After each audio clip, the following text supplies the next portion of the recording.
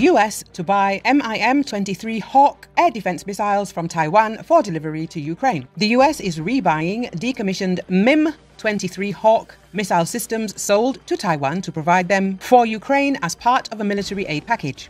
The China Times reported it, referring to the source.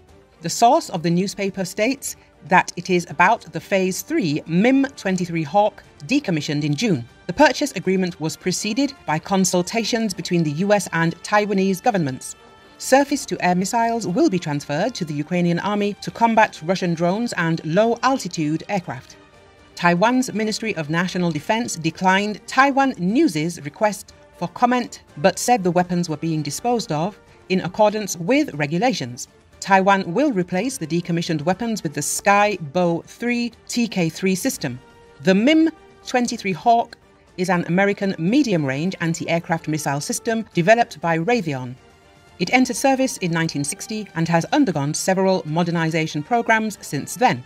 It has three generations Phase 1, Phase 2, and Phase 3. Initially, the system was developed to destroy aircraft, but later it was modified to intercept missiles. They were in service with a large number of European countries, including Greece, the Netherlands, France, Germany, and others. According to the Taiwan Air Force, Hawk missiles were used in 41 combat exercises between 1965 and 2017, hitting their targets more than 90% of the time.